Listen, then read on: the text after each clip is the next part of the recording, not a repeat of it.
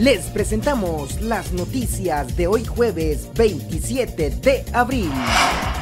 Capturan a presunto responsable de muerte de menor. La Policía Nacional Civil informó que en Santo Tomás de Castilla, Puerto Barrios y Zabal, agentes de la Comisaría Departamental capturaron a Gamaliel de 58 años por existir una orden de captura por el delito de asesinato de fecha 26 de abril emitida por un juzgado de ese departamento. Según indicaron los captores, el detenido es el presunto responsable de haberle dado muerte a un menor de 13 años el 23 de abril en la colonia Las Palmeras, en Santo Tomás de Castilla.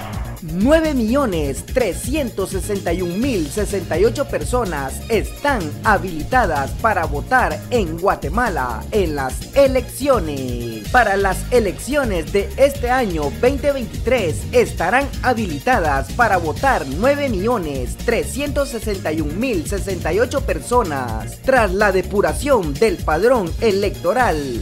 Según TSE, en los últimos cuatro años, se sumaron 1.315.000 ciudadanos al padrón electoral. Capturan a salvadoreña en la zona 9 que era acusada de intentar robar un radio de automóvil.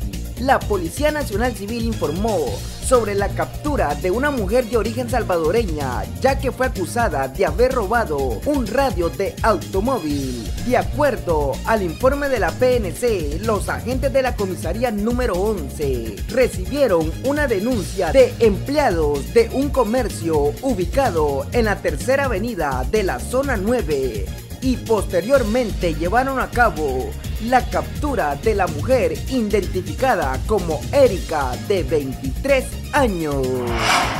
Detienen a sujeto en Venezuela por estafar a narcotraficante. Autoridades policiales de Venezuela detuvieron a un sujeto que elaboraba y traficaba panelas falsas de drogas hacia las islas del Caribe, con las que estafaba a narcotraficantes, informó el director del Cuerpo de Investigaciones Científicas, Penales y, y Criminalísticas. El Ministerio Público informa. La Fiscalía contra el Delito de Extorsión, en coordinación con la Fiscal Regional del Departamento de Guatemala y con apoyo de la Policía Nacional Civil, realiza esta mañana seis diligencias de allanamiento, inspección, registro y secuestro de evidencia. Para más información visita nuestra página isabalencetv.com. Informó Tali Cruz para Isabalense TV y Radio Fe Love.